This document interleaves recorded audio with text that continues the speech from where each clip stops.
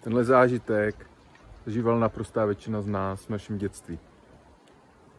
Ať už doma, ve škole, nebo v nějakém týmu, už byli součástí, jsme opakovaně zažívali, že musíme předstírat, že jsme jiný, než ve skutečnosti jsme.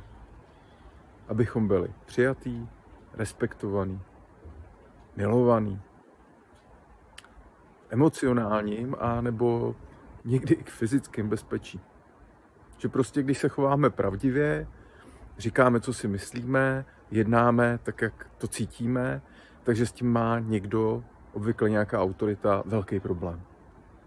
No a protože tohle to jsme zažívali často ve svém dětství, tak jsme se takhle naučili chovat a chováme se tak i dneska, když jsme dospělí. Když vstoupí muž do mužského kruhu, tak zažije úplně jiný zážitek. Zažije, že může být takový, jaký je, že je takový viděný, přijatý, respektovaný a že může takový zůstat součástí kruhu.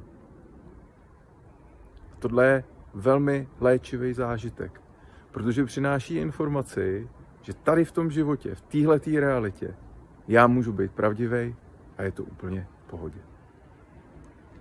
Mužský kruh vrací mužům důstojnost.